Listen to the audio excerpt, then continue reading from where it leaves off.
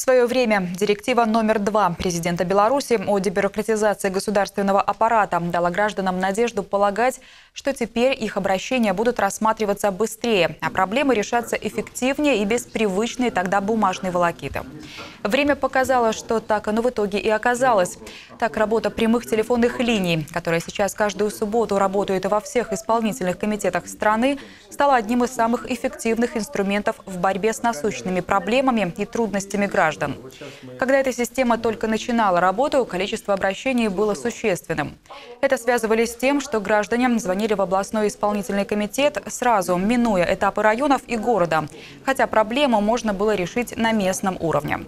Также большое количество обращений было связано с самой возможностью позвонить и напрямую, минуя различные бюрократические препоны, обратиться к тому представителю исполнительной власти, кто обладает существенными полномочиями в решении того или иного вопроса. Также эффективно показала себя практика личных приемов представителей исполнительной власти. Существенно, хотя и не без трудностей на этапе развития, поспособствовала дебюрократизации и служба «Одно окно». На сегодня отмечается снижение количества обращений. Однако, как подчеркнули на заседании Гродненского областного исполнительного комитета, это совсем не свидетельствует о том, что проблемы решены. Они есть и по-прежнему возникают. Некоторые, такие как дороги и вопросы, связанные с жилищно-коммунальным хозяйством, будут неизменно возникать снова и снова. Но механизм их решения теперь налажен, откорректирован, усовершенствован и более эффективен. За прошедший год в исполнительные и распорядительные органы Гродненской области поступило почти 15 тысяч обращений, что по сравнению с 2017 годом на почти 2 тысячи меньше. У жителей Гроднищины возникают вопросы в сфере образования. От вопросов опеки и порядка усыновления до проблемы подвоза детей к школе. В сфере оказания социальной помощи, законности и порядка волнуют также жителей вопросы, связанные с охраной окружающей среды, экологической безопасности и охраной памятников истории и культуры.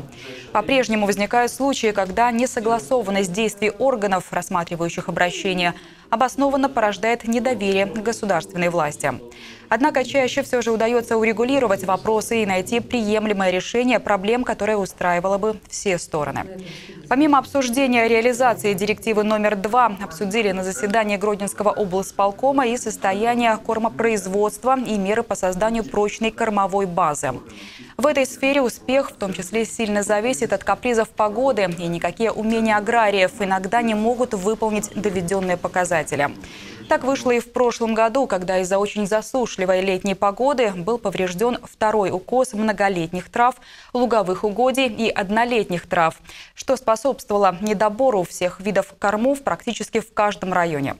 Так, из планируемых полутора тысяч тонн кормовых единиц травяных кормов и более миллиона тонн зернофуража заготовлено было 1285 тысяч тонн травяных кормов и 638 тысяч тонн зернофуража, что существенно ниже прогнозируемого.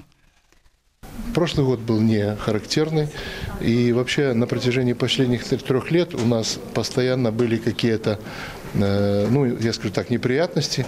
В 2016 году было зерно, не было травяных кормов. В 2015 наоборот были, были, были травяные корма, не было зерна. Поэтому э, задача стоит, э, чтобы э, заготавливать столько, чтобы нам хватало. Это порядка 30 центнеров кормовых единиц.